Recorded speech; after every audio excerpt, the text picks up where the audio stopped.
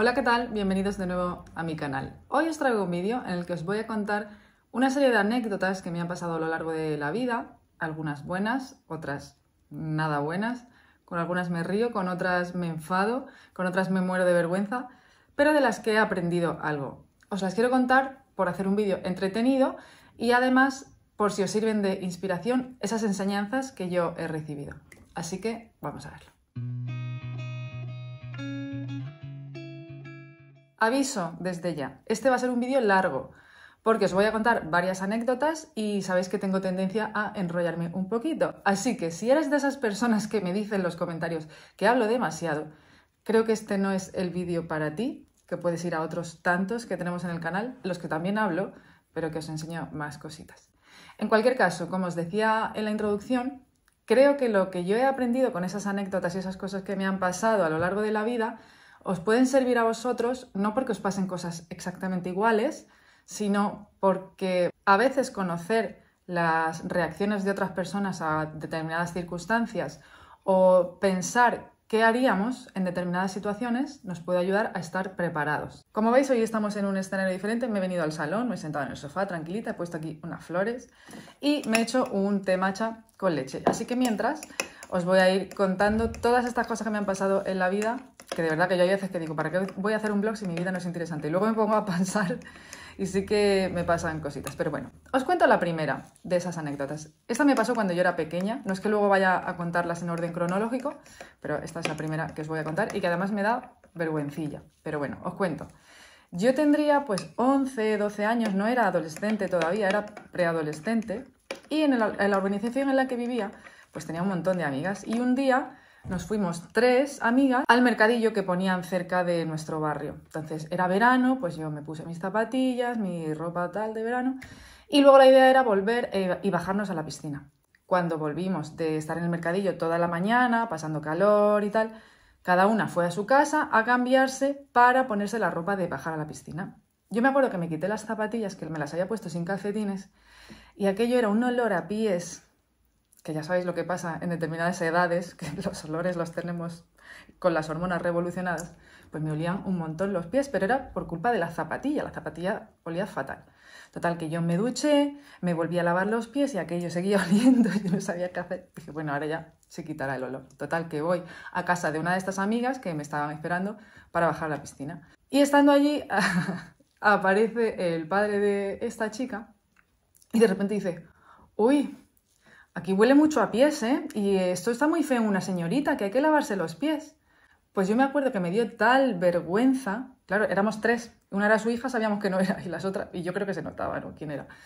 Me dio muchísima vergüenza y me quedé callada, porque como sabéis que os he contado en otros vídeos, yo era muy tímida y no hablaba por no molestar y tal. Y me quedé callada, ahí escuchamos un poco el chaparrón, por decirlo de alguna manera, y nada, ya no fuimos a la piscina. ¿Qué aprendí de eso con el tiempo? No que me tenía que lavar los pies más a menudo, ni que tenía que tirar esas zapatillas, que también, sino que tenía que haber dicho en ese momento, pues mira, soy yo, pero que el tema es, son las zapatillas que yo me he lavado, me he duchado y es que no he conseguido quitar este olor, pero las zapatillas ya las voy a tirar. En ese momento me quedé callada por la vergüenza. Entonces, lo que aprendí es que a veces hay que ser valiente, asumir que uno se ha equivocado o que uno es el causante de algo que ha pasado y explicarse y argumentar por qué han pasado las cosas. A veces no hace falta argumentarlas o a veces no es suficiente, pero bueno, está bien poder explicarse y decir por qué ha ocurrido algo o por qué hemos actuado de determinada manera para que la gente nos entienda y sobre todo para poder solucionarlo. La segunda anécdota que os cuento también es cronológicamente la segunda que me pasó. En esta ya tenía 23 años. Me pasó viviendo en Madrid. Cuando yo me fui a trabajar a Madrid, estaba en una agencia de azafatas y modelos. Yo era la que estaba detrás, digamos. Yo trabajaba en la selección del personal para las diferentes campañas. Pero hasta hacía muy poco yo había trabajado de azafata en promociones, cuando vivía en Granada y tal. Nunca había sido modelo ni nada, pero trabajaba mucho de azafata. Pues estando en esta agencia, eh, vi una oferta de trabajo en Internet, porque siempre estaba pendiente, y buscaban chicas para ser imagen de diferentes marcas, para ser imagen de productos, todo sonaba como muy bien, ¿no? Y yo dije, pues, oye, ¿por qué no a probar a mandar el currículum? Porque además era algo que no interfería con mi trabajo, porque eran para campañas puntuales. Me llamaron, me llamó una chica para hacer una entrevista personal que había visto mi currículum y mis fotos y le gustaba mucho mi perfil y quería entrevistarme. Entonces me citó en un sitio allí en Madrid. Llego a, una calle allí en pleno centro de Madrid, subo a un apartamento y me, me recibe una chica joven, más mayor que yo, como muy guapa, muy elegante, muy bien vestida. Y nos sentamos allí en el salón y empieza a hacerme una entrevista de trabajo. Me decía que, pues eso, buscaban chicas para ser imagen de productos, de campañas de cosmética, por ejemplo, campañas de publicidad, de televisión, que estaban muy bien pagadas, eh, chicas de imagen en fiestas, todo como sonaba súper chulo, súper glamuroso, como decías, jo, me van a pagar un dineral por esto, que bien, ojalá me cojan. Llega un momento en que la chica me hizo una pregunta que no recuerdo exactamente cómo era, me da rabia no acordarme, pero era algo así como, ¿cuál era mi nivel moral o algo así? Y no supe a qué se refiere. Le dije, no sé a qué te refieres. Y me dice, tú imagínate que, por ejemplo, un día viene un famoso como Tom Cruise a la presentación de una de sus películas. Y que él quiere que en la presentación de la película pues haya algunas chicas que estén allí con él. Imagínate que luego dice que vayáis a cenar. Haceros una idea de lo que me estaba diciendo la tía y cómo me lo estaba vendiendo. Tom Cruise. Dice, imagínate que, pues, que eres una de las seleccionadas para ir con él a cenar y tal. ¿A ti te parecería bien? Y yo decía, hombre, si es para ir a cenar, sí, ¿por qué no? ¿Sabes? Vale. Imagínate que después de cenar, eh, pues eh, estáis fuera del restaurante y se quiere despedir de ti y te quiere dar un beso. ¿Y tú qué harías? Y si pasa tu novio por allí en ese momento, ¿tú qué le dirías? Y yo ya veía unas cosas muy raras y le dije, mira, em, creo que yo no vengo a este tipo de trabajo, porque ya vi por dónde iba el tema, ¿no? Y además ya deduje por la zona de Madrid en la que estaba, que luego me enteré que hay muchos pisos de eso, y por el estilo de la chica, luego deduje a qué tipo de chicas quería contratar, ¿no? Entonces le dije, mira, yo creo que esto no es lo que yo vengo buscando, tal, pero bueno, para otro tipo de campañas, si es de verdad, de azafata, de imagen y tal, cuenta conmigo. Y la chica ya, bueno, cortó, venga, vale, pues nada, me quedo con tus datos y, si me cuadra algo, pues ya te llamamos. Me fui de allí eh, eh, flipando un poco, porque claro, lo que esta chica buscaba, pues ya sabéis lo que son, chicas de compañía. Y además no era para Tom Cruise precisamente, era para cualquier otro tipo de tío. Me acuerdo que estando allí vi un montón de currículums que tenía en la mesa y uno de ellos era de una chica que venía a veces a trabajar a la agencia en la que yo estaba. Y la, le escribí y le dije, oye, tal, que sepas que estaba en, en esta entrevista, he visto tu currículum y que estés preparada para lo que te van a ofrecer. No le dije nada más, no sé qué pasó, ya nunca supe nada. Pero bueno, ¿cuál es la enseñanza que yo obtuve de esto? Que no dan duros a pesetas, que las cosas en la vida, por desgracia, no son tan fáciles y que ganar dinero cuesta. Con lo cual, no nos creamos cuando nos venden cosas así como, ah, esto es muy fácil, vas a ganar mucho dinero, eh, no tienes que trabajar casi, no. Sabéis a lo que me refiero, ¿no? Aparte de que creo que hay que tener las ideas muy claras y a veces con cierta edad es complicado. Yo ya os digo que tenía 23 años, pero hoy en día es que a las chicas más jóvenes las asaltan con este tipo de propuestas y por desgracia muchas de ellas caen porque quieren ganar dinero fácil, mm, sin esfuerzo, mm, mucho dinero, rápido. Y bueno, hay que tener las ideas claras, hay que tener una madurez que no siempre se tiene por la edad que tenemos, pero que no nos dejemos engañar con esas propuestas de cosas fáciles. La tercera anécdota, que os digo que son cosas que no tienen nada que ver unas con otras, son muy distintas, me pasó una vez que estaba, eh, cuando yo vivía en Alcalá de Henares, estaba en una zapatería probándome una serie de zapatos. Era verano, me acuerdo. Yo llevaba mi bolso colgado aquí en el hombro y me estaba probando zapatos todo el rato con el bolso colgado. Hubo un momento que dije, de verdad, qué rollo, me estoy probando unas sandalias de tacón, lo voy a soltar un momento aquí, a mi lado. Me suelto el bolso, me pongo una sandalia de tacón y al segundo, ¿eh? Llega un chico y me dice, oye, perdona, ese hombre se ha llevado tu bolso. Y yo miro hacia la puerta de la tienda y veo a un tío saliendo con mi bolso aquí. Durante unos microsegundos pensé 20.000 cosas, ya sabéis que estas cosas pasan, y me puse a pensar, ya no lo voy a coger, ya el tío ha salido, yo estoy aquí con los tacones de unas sandalias, eh, va a ser imposible que le pille. También pensé, ahora ponte a dar de baja tarjetas, por suerte llevaba el móvil en el bolsillo, dar de baja visas, eh, renueva el DNI, no sé qué, y de repente me dije yo, pues no, no me da la gana me quité las sandalias de tacón que me estaba probando y salí corriendo descalza de la tienda gritando detrás del tío. Me ha robado mi bolso, mi bolso, mi bolso. Me acuerdo que esto era, si sois de Alcalá o habéis estado alguna vez o lo conocéis, era en la calle Libreros. Todavía pasaban coches por allí porque eso ahora es peatonal. El tío cruzó, yo crucé la calle, no miré ni siquiera si venía ningún coche que me podían haber atropellado. Salí corriendo detrás de él, gritando. La gente, me acuerdo que me miraba como diciendo que hace esta loca, pero nadie se paraba ni hacía nada. Y el tío hubo un momento que miró hacia atrás como diciendo, joder, que me está persiguiendo. Y de hecho, lo que hizo fue soltar el bolso e irse corriendo.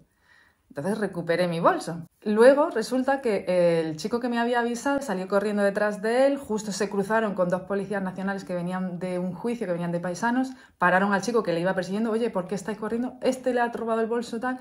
Lo, se fueron corriendo, lo pillaron al tío, al día siguiente o a los dos días tuvimos un juicio rápido, no le hicieron nada y resulta que era un hombre que se dedicaba a eso.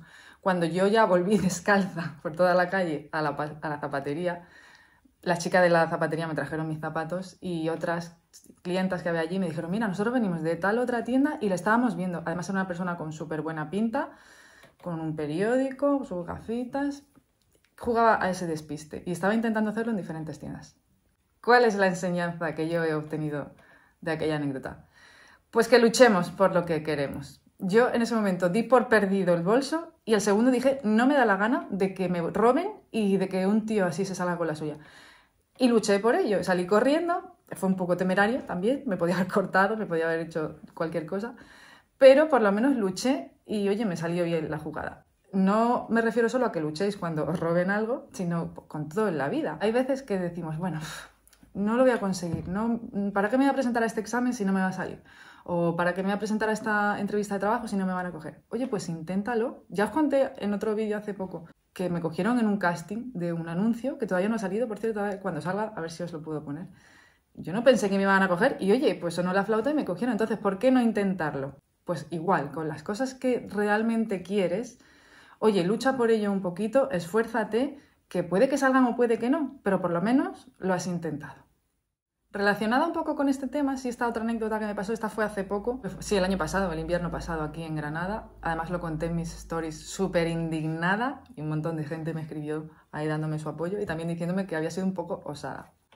Veréis, yo estaba en el campo de aquí abajo de mi casa paseando a mis dos perros, a Robin y Baco. Robin es un perro que ladra mucho porque tiene problemas de sociabilidad y tiene miedo y él por Defecto ladra a cualquier perro, incluso con una cara como si se lo fuera a comer. Pero Baco es súper sociable. Además, es un perro callado, que llega, se acerca a todos los perros, los huele, juega, súper sociable. Pues este invierno yo estaba aquí en el campo y como no hay luces en el campo, yo me quedo por una parte de arriba por la que da la luz de las farolas de la calle y todavía algo se ve. Yo me acuerdo que bajé ahí, que estaba medio oscuro, pero más o menos veía, y al fondo, en una de las zonas del campo, vi a una persona con otro perro que al vernos se dio la vuelta. Bueno, pues yo me fui en la dirección contraria, andando con mis perros. Baco, no Robin, Baco, se fue un poquito en su dirección y les ladró dos veces como diciendo, eh, ¿quiénes sois? Que, quiero jugar. Porque además yo sé cómo ladra Baco, es que es un perro súper amigable. Y yo le llamé eh, seguí andando para que me hiciera caso, para que me siguiera, y efectivamente a los dos minutos, pues se vino conmigo, nada más. Yo estuve andando, estuve jugando con ellos, y a la vuelta, otra vez volviendo al sitio por el que yo bajo, resulta que veo venir de frente a un hombre con un perro del tamaño de Robin, más o menos, blanco. Y Baco sale corriendo hacia él como para jugar, y se ponen como a correr, ¿no? Baco detrás del otro. Y yo, Baco, Baco, le llamaba porque, bueno, porque no quería que le molestara. El hombre era alguien a quien yo no conocía, porque aquí en, este campo nos conocemos casi todos los que sacamos perros y tal, y yo le vi de lejos y sabía que no era alguien que conociera. Pues yo le llamaba, Baco, Baco, ven, ven, no sé qué, no molestes. Y llega un momento que llega el tío y me suelta, al Paco, al Paco que me hizo ya, le voy a dar una patada que se va a enterar. Y le digo, ya, ya, perdona, que ya lo cojo, que ya lo voy a coger. Él cogió a la perra, que luego me dijo que era una perra, la cogió en brazos. Me dice, que me está molestando, a ver si lo coges. Y le dije, oye, perdona, que ya te he dicho que lo voy a coger, que es un cachorro que está queriendo jugar, pero me está viendo que estoy corriendo, ya lo voy a coger. Es que la próxima vez le voy a dar una patada. Yo en ese momento ya había cogido a Baco y ya me estaba yendo. Cuando me dijo eso, me di la vuelta, me acerqué a él y le dije, tú le das una patada a mi perro y te mato. ¡Te mato! Es que lo que tienes que hacer es cogerlo y no llevarlo suelto. Digo, lo llevo suelto como llevas tú al tuyo. Digo, además estamos en un campo. Si quieres un perro que no esté suelto, pues te vas por la calle, te vas a un parque. Pero aquí en el campo abierto no tengo por qué coger al perro, porque además no te está molestando. Te estoy diciendo que es un cachorro y que quiere jugar. Es que la mía no quiere jugar. Y digo, bueno, pero me estás viendo que lo estoy cogiendo. Que no estoy pasando de él ni le estoy azuzando. Te estoy diciendo que me has visto que estoy corriendo pidiéndote perdón y queriendo coger al perro. Entonces no me digas que le vas a pegar una patada. Me doy la vuelta otra vez para irme y me vuelve a decir que le va a dar una patada al perro. O que me la va a dar a mí. Bueno, me volví, me lo puse aquí, en la cara. Reconozco que fue una macarra, ¿eh? Y le dije, ten, perdonadme la palabrota, porque además, bueno, le dije, ten de pegarme. Digo, ten huevos de pegarme ahora. Y ya empieza el tío a decirme que si soy una P, que si soy una zorra, que si soy... Y le digo, claro, es muy inteligente por tu parte insultarme con ese tipo de palabras, porque soy una mujer, ¿verdad? Y me dice, no te doy una os porque eres una mujer, porque luego vais todas diciendo. Y otra vez me volví, porque yo es que estaba encendida. Y dije, a mí este tío no me va a chantar. Y otra vez me volví y le dije, venga, pégame. Digo, pégame, que estás diciendo que soy una mujer, que no tal, pégame.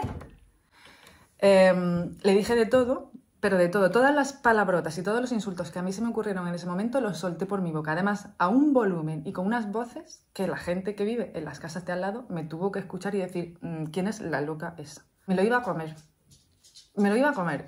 Em, hubo un momento que se me pasó por la cabeza, os lo juro, igual con estos microsegundos que os digo, digo, le suelto un puñetazo aquí ahora mismo, porque además digo, pues ya que estoy fuerte, y ya está. Pero claro, también tuve la lucidez durante esos microsegundos de pensar, a ver, Rosa, como le sueltes un puñetazo, se puede liar la de Dios es Cristo, porque te puede salir por cualquier lado, que se quede el tío mm, flipado y no pase nada, o que te la devuelva, o que te saque una navaja, porque es que como no sabe la gente lo que puede hacer, Menos mal que no le hice nada, efectivamente.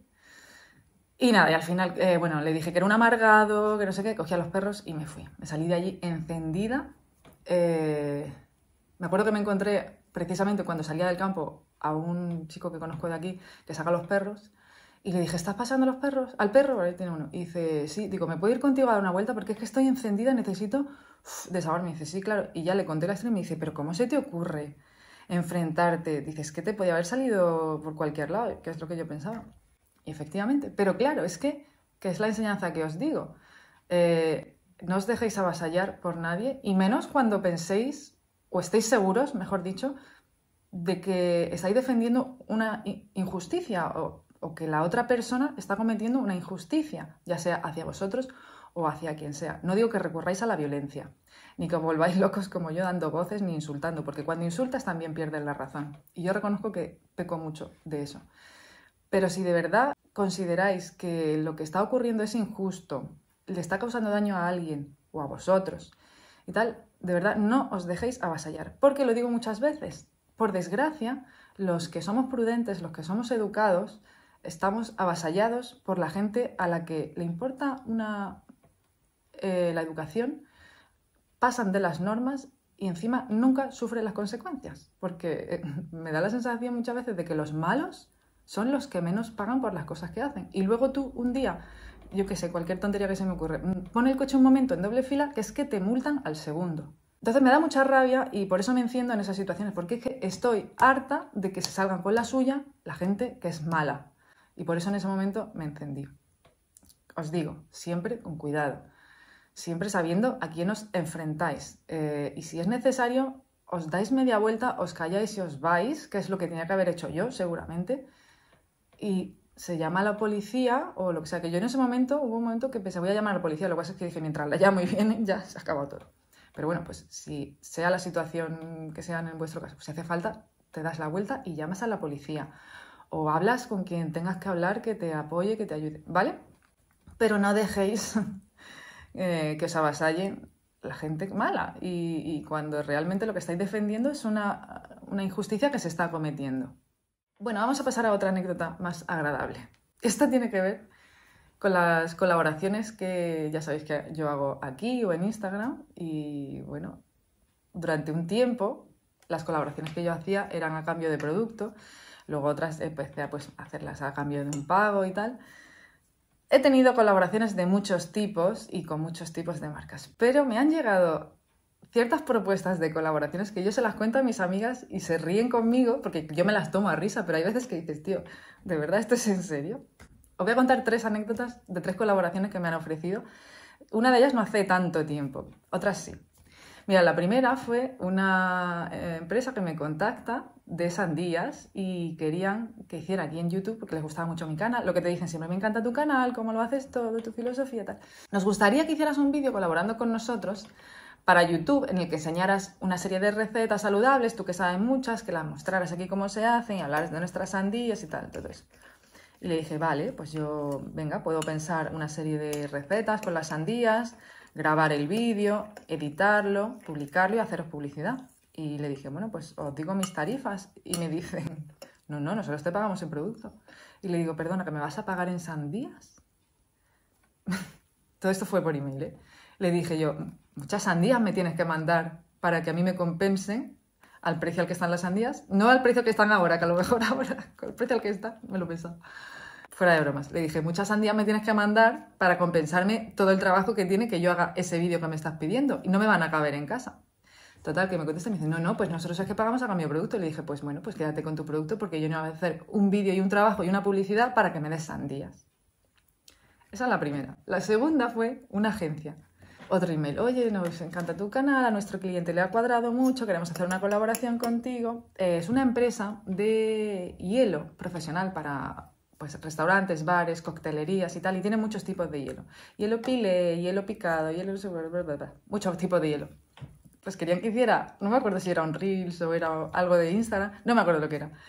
Me querían pagar en hielo. y le dije, ¿me quieres pagar en hielo?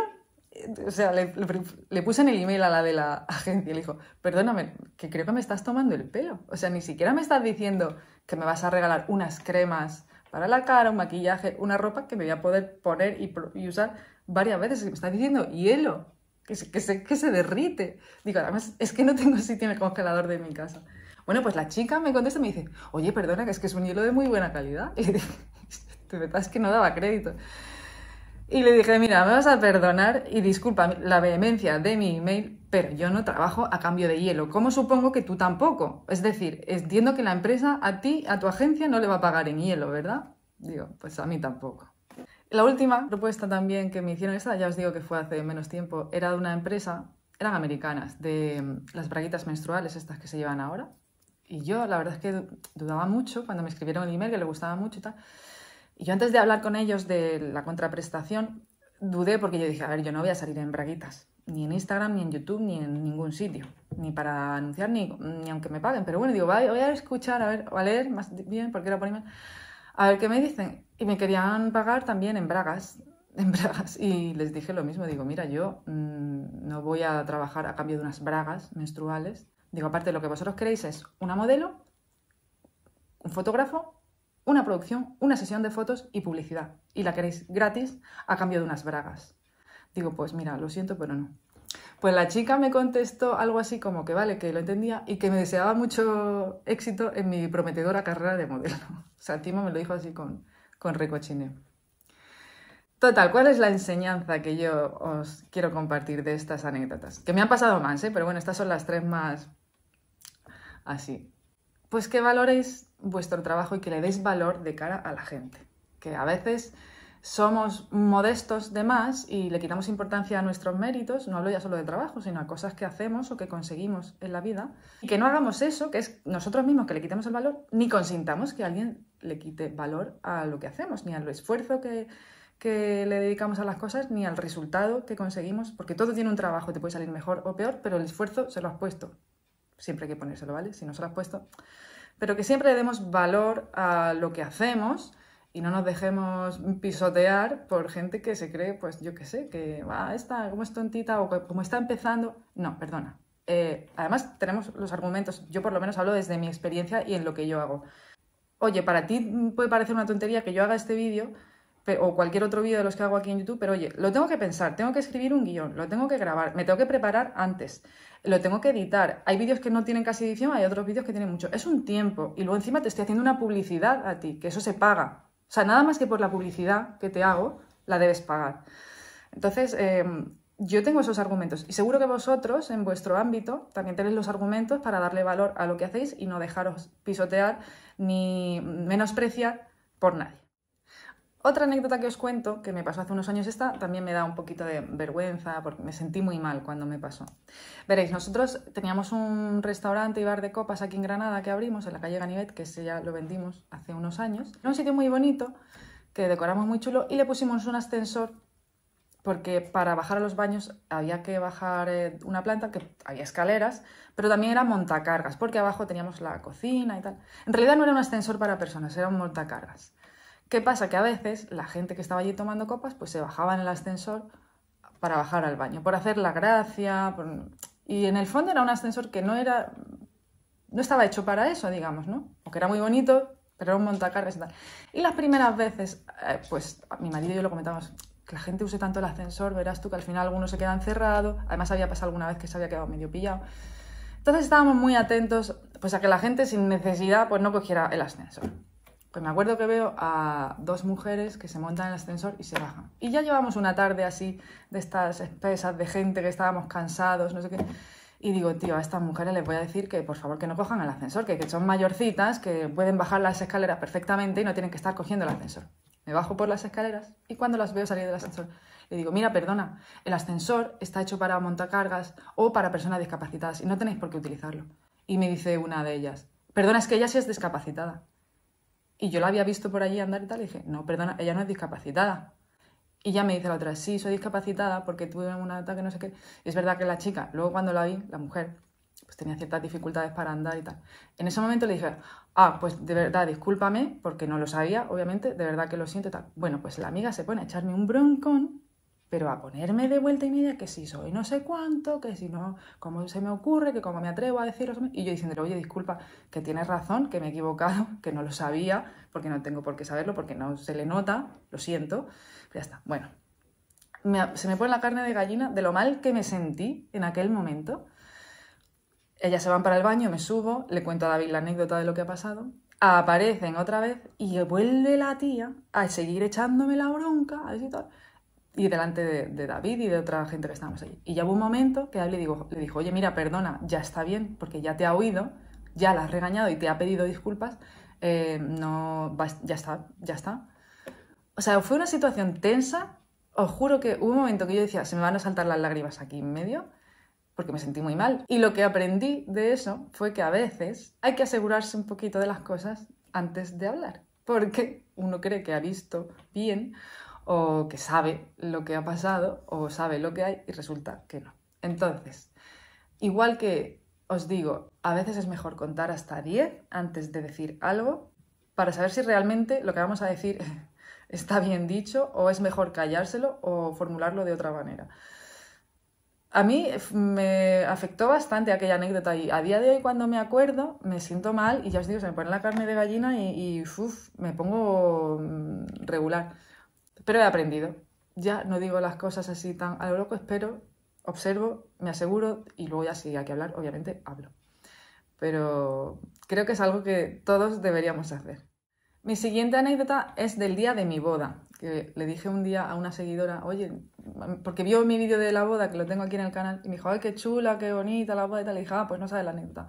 Porque alguna vez la he contado, no sé si aquí en el canal o en Instagram, bueno, hay gente que no la sabe. Os cuento, nosotros nos casamos aquí en Granada un viernes. Nuestra idea, lo que nosotros hicimos, era una boda de una fiesta, porque a mí lo que era casarme por la iglesia o en el juzgado realmente era lo que menos me importaba. Yo quería hacer una fiesta con todos mis amigos, mis familiares y vestirme de novia. Además, siempre se lo había hecho ahí, yo me quiero vestir de novia y el resto un poco que me da igual, exagerando un poco. Entonces hicimos eh, esa ceremonia un viernes en Granada, en un hotel muy bonito, y el que hacía como de cura era un chico que conocemos nosotros de Madrid que es actor. Entonces dijimos, tío, pues vienes, hacemos esa especie de, mm, de misa, que no es misa, ¿no? Porque tampoco hace falta que... Que no era mm, tampoco burlarse de hacer una misa religiosa, sino que él hablara pues haciendo como de oficiante, digamos, ¿vale? Y luego ya pues hacemos el cóctel, la cena, todo, todo, además muy chulo, preparado, porque yo organicé toda mi boda, yo no tuve wedding planner ni lo organicé todo, la decoración, todo. Estaba muy ilusionada. Bueno, pues este chico venía de Madrid. Mi boda era a las 8. Estaba todo el mundo convocado.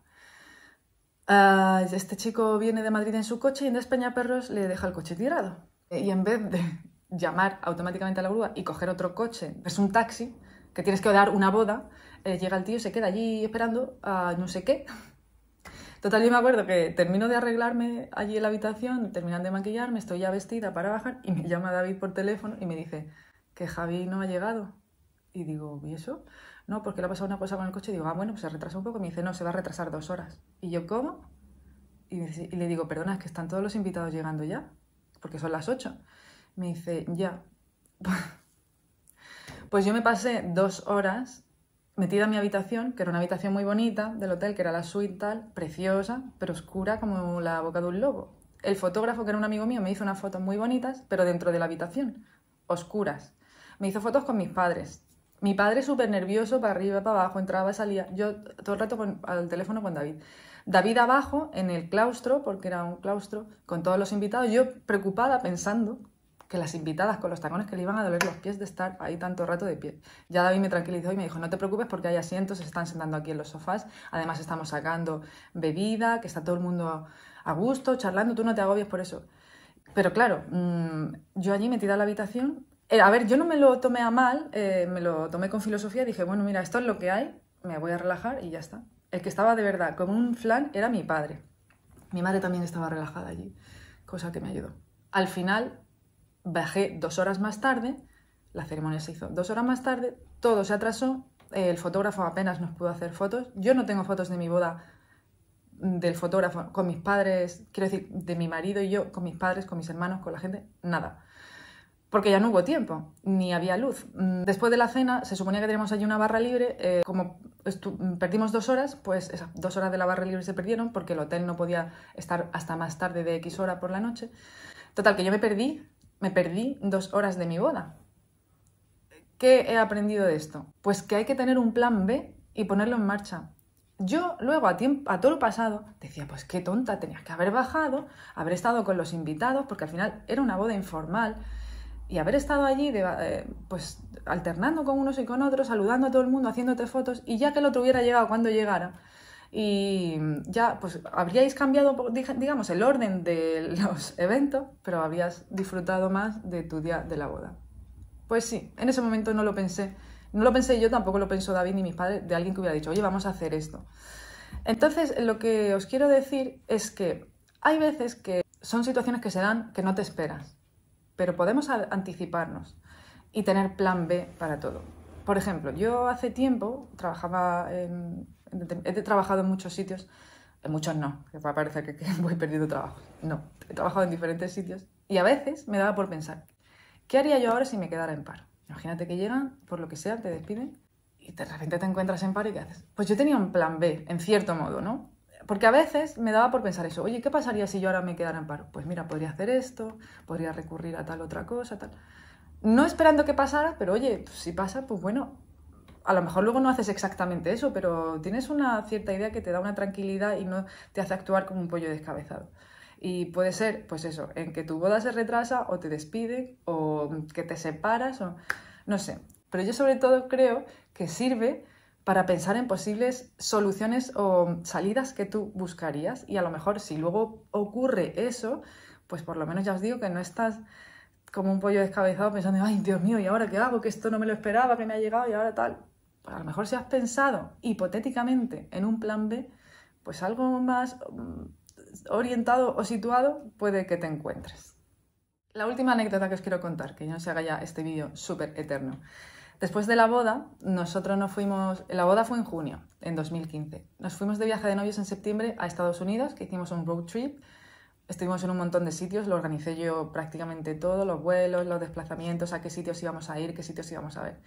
Y uno de ellos era el Cañón del Colorado, que a David le hacía muchísima ilusión ver. Bueno, pues llegamos allí desde Los Ángeles con nuestro coche de alquiler, teníamos el hotel buscado y tal, y allí íbamos a estar dos noches. Pues creo que fue la segunda noche, o la primera, no me acuerdo. Bueno, allí había como diferentes rutas que tú podías ver según quisieras ver una zona u otra del cañón, algunas más largas, otras más cortas, había diferentes líneas de autobuses que se distinguían por colores, que te llevaban a un sitio, a otro, pero todas volvían pues a la zona de los hoteles, hacían paradas, tú tenías un plano con todas las paradas y tal. Y luego había eh, caminos para ir andando al lado de la calzada, ¿no? por donde iban los coches, y también por más dentro de la montaña, para ver los miradores y todo eso. La verdad es que es chulísimo aquello. Es espectacular de ver. Pues uno de los días, es que no sé si fue el primero, porque llegamos por la tarde, puede que fuera, nos ponemos por allí a, ir a uno de los miradores, muy bonito y tal, y había pues como un trail para seguir andando con diferentes eh, puntos para ver, no sé qué. Total, que empezó a, atardecer y ya me dice David, pues vámonos a la habitación ya, ¿no? Que estaba súper cerca de ese sitio. Y le dije yo, pero si es muy pronto y acabamos de llegar, no hemos visto nada, venga, vamos a seguir andando por aquí, por este caminito que está indicado. Y ya está, luego ya seguimos y nos cogemos un autobús de vuelta. Y me dice David, pero mira que va a oscurecer. Y yo, sí, pero mira que estoy viendo aquí el plano, que podemos seguir por este camino tal, tal, y aquí abajo ya cogemos el autobús y volvemos. Bueno, pues nos perdimos. Se hizo de noche. No se veía nada. Estábamos en medio de... No puedo decir que es el campo ni la montaña, porque es un... Eh, si tú me ves andando por ahí, al lado de la calzada, que no pasaba ni un coche, ni un autobús. David detrás, maldiciendo en arameo. Y yo pensando, por favor, que no nos pase nada. Que me imaginaba la noticia diciendo, dos turistas españoles se pierden en el Gran Cañón. Tuvimos que andar un montón. Además pasaba una cosa, que es que las rutas de los autobuses a cierta hora ya acababan y no había más. Y nos faltaba, yo iba viendo el mapa, y nos faltaba un rato para llegar a la última, a la parada que teníamos más cerca de nosotros, que era la última en la que podía pasar un autobús, y si no, ya de ahí era volver hasta la zona del hotel, era andar un montón y a oscuras y perdido. Bueno, yo decía, por favor, por favor, que lleguemos. Al final llegamos a, la parada, llegó el autobús, volvimos a no nos pasó nada. Pero mira, David me echó no, no, era una bronca, pero diciendo, es que te lo he dicho, es que no sé qué, si nos llega a pasar algo. Y me río mucho de esa anécdota porque en el fondo tenía gracia, pero no podía haber pasado algo.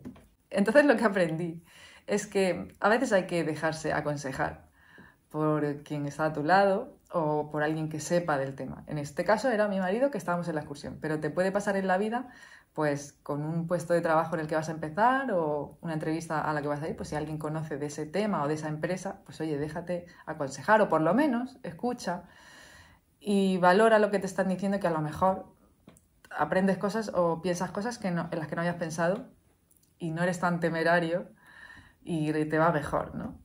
Está bien escuchar siempre opiniones de los demás, luego obviamente cada uno hace lo que quiere y se puede dejar guiar por su instinto, pero oye, siempre está bien escuchar a la gente, sobre todo a la gente que te quiere, porque hombre, van a mirar un poquito por ti. Y bueno, estas han sido las ocho anécdotas que me han pasado en la vida hasta ahora, porque no descarto que me pasen más con las que he aprendido cosas y que creo que pueden ayudar, no la anécdota en sí, bueno, la anécdota os puede haber entretenido, pero los aprendizajes que yo he tenido os pueden ayudar a vosotros en diferentes situaciones que se os presenten en la vida. Yo espero sobre todo, pues eso, que os sirva de inspiración, como siempre digo, y de entretenimiento, que oye, ¿por qué no? También venimos aquí a pasar un buen rato y espero que así haya sido. Como siempre os doy las gracias por estar ahí tanto para vídeos de este tipo como para vídeos en los que os promociono productos, como otros en los que enseño pues, diferentes formas de usar una falda, como el de la semana pasada. La verdad es que estoy muy contenta con el apoyo que me dais. Reconozco que a veces me cuesta recibir ciertas críticas que me hacen que... Yo siempre lo digo, si la crítica es constructiva es súper bienvenida, pero hay formas y formas de decir las cosas. Pero reconozco que me cuesta a veces asumir las críticas y es algo en lo que estoy trabajando. De hecho, mm, voy a intentar hablar un poco menos o enrollarme menos en las introducciones en los vídeos que haga a partir de ahora. No sé si lo voy a conseguir, pero lo voy a intentar. Pero por eso os digo que os agradezco de verdad que estéis ahí y sobre todo las buenísimas palabras que me dais la mayoría, porque aunque haya críticas eh, constructivas y críticas negativas que, que son eso, pues más negativas, la gran mayoría de los comentarios que me hacéis siempre son encantadores, sois súper cariñosas y mm, de verdad que eh, es un gusto recibir ese feedback por vuestra parte, saber que lo que os hago os gusta y os entretiene. Además me anima a hacer más vídeos, que la verdad tengo unos cuantos preparados para estas próximas semanas. Así que os veo en el próximo, que será pronto. Si no os habéis suscrito al canal, por cierto, hacedlo ahora, es el momento. Que bueno, así cuando publique vídeos, pues ya sé que estáis ahí. Chao.